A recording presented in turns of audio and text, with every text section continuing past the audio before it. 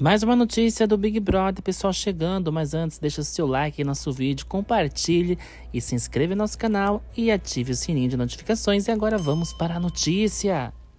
Depois da saída de Cowboy, que muita gente não esperava somente o Guimê, cara de sapato chora e soluça sozinho na academia do BBB 23, enquanto seca as lágrimas o lutador de MMA diz: Estou totalmente errado.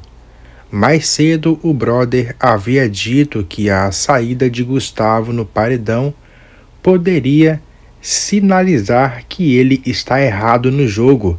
Se o cowboy sair, é porque eu estou todo errado mesmo, disse em conversa com Ricardo. O lutador está no paredão por indicação de Sara Line, que atendeu o Big Fone. Fred Nicásio, seu rival no jogo, voltou da última berlinda e isso faz com que ele duvide de sua capacidade de ficar no programa.